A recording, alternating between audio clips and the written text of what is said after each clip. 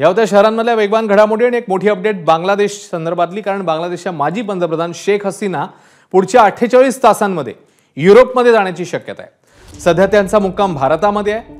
शेख हसीना यांचा विजा रद्द करण्याचा एकीकडे अमेरिकेने निर्णय घेतलेला तर शेख हसीना यांना इंग्लंडमध्येही राजाश्रय मिळणं कठीण आहे.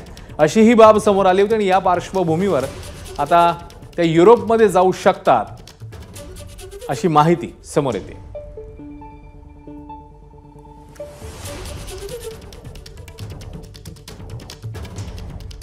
तर येत्या अठ्ठेचाळीस तासामध्ये ते पाऊल त्या उचलणार का हे पाहणं महत्वाचं असेल. येत्या अठ्ठेचाळीस तासात त्या युरोपमध्ये जाण्याची शक्यता असल्याची बातमी समोर येते. कालच त्यांनी पंतप्रधान पदाचा राजीनामा दिला होता ज्या प्रकारे बा बांगलादेशमध्ये अराजक समोर आलेला आहे. त्या पार्श्वभूमीवर आता त्या नेमकं पुढचं पाऊल काय उचलणार पाहणं महत्वाचं आहे.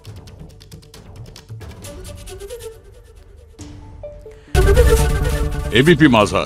उघडा डोळे बघा नीट.